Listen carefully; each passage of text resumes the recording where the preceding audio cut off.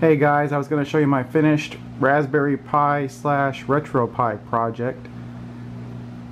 I call it Raspy Vision. Shout out to the lady who, Barbara, who sells these retro gaming console covers on eBay. It's pretty nice. Let me take this off and show you what I've done. Here's my Raspy Vision entertainment system. Uh, I've added an LED here I'll show you later, but the power switch is synced up to the Pi and shuts it down properly. The reset button is synced to a Xbox adapter sync button, which is where the light's coming off of too, so you can tell when you're in sync mode. Over here where the cartridge normally goes is where you have your SD card. Let's see. In the back here, you got input power and a master power switch button. You got HDMI, Ethernet.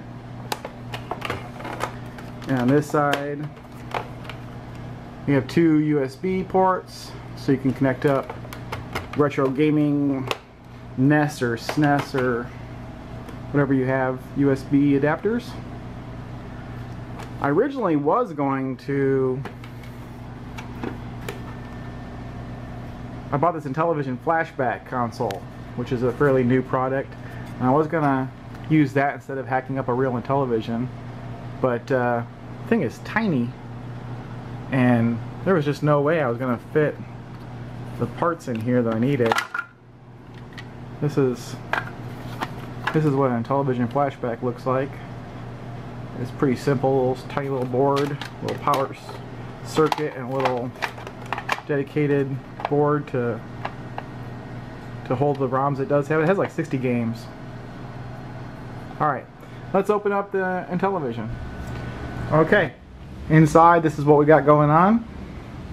I got AC power coming in here, going to a switch, going to a 5 volt converter switched power supply. Um,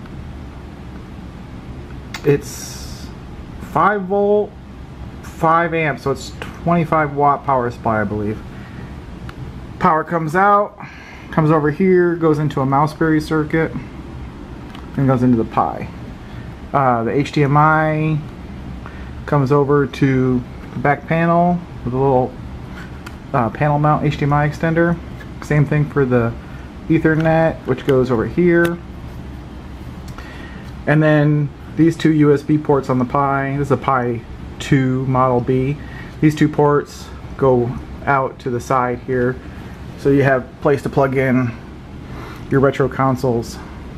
The other two USB ports, one, the bottom one here, is going over to an Xbox adapter which I've taken out of its case and I soldered onto the the little switch here and the little LED and brought them out to the front panel. I'll show you that in a second. The other USB port comes over here to the ultimate PC interface for Intellivision, um, which is allows you to basically hook up real Intellivision controllers to to a PC. And so I replaced the cables that came with that, but 9 pin uh, DB9 connectors, which then go out to your your two Intellivision adapters. I got a little extender in here. It's kind of hard to see all this stuff, but I got an extender down there plugged into the micro SD card slot which goes the ribbon cable goes here which that's how I get um, the SD card accessible from the outside from the cartridge slot. And the last piece of this well this this is the main switch the original switch from the Intellivision. It's wired into the Mausberry circuit.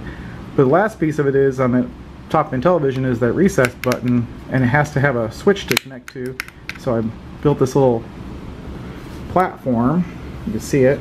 It's sitting up about an inch off the bottom of the case. It's, it's very stable. Um, which one gives a place for that reset button to switch to hit, and that's wired back to the reset on the X adapter. But two, it also gives me a place to, when I take the lid off, the LED that's in that's fastened to the top of the lid has a little connector here, and that plugs in there. So when you start to take the lid off, you can you can unplug it to get the lid off without being permanently attached. That's the inside. Um, Let me hook it back up and I'll show you how it looks when it's actually working. Alright, we're back. So I got it all back together again, hooked up to power and HDMI. And that's a master AC power switch. It cuts off the power to the whole thing. So if it locks up or if I need to reset it or something, I don't have to pull the plug, I can just hit that. That's only two required things. I mean, I have Ethernet if I need to or want to hook it up to the network, I can. Um, and I have USB ports on the side there, so if I want to plug in other controllers or other devices or a keyboard or whatever, I can. Alright, let's turn it on. The power light isn't really a power light, it's a light from the Xbox adapter. So it doesn't come on until the Xbox adapter initializes. Um, let's see, turn on the Xbox controller here and syncs up as player one. And you know, it takes a few seconds for the Pi to boot into EmulationStation. But once it is, I have all the different systems. Now if you play Intellivision games, let's boot up. I'm not sure how well you can see that. Let's boot up Astrosmash. Then you would actually use the Intellivision adapter. So let's start a start a game here. Let's turn on auto fire because I can play with one hand. No, I can't play with one hand. Thought I could. I can quit this game from the Intellivision controller or from the Xbox adapter. Takes a two button press on the Intellivision controller. So I'm gonna just press the guide button on the Xbox. Come back out.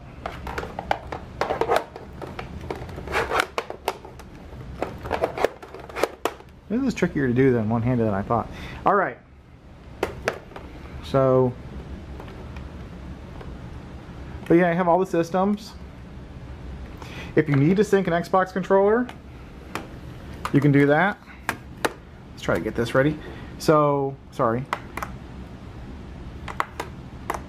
So by pressing that button, it goes into sync mode.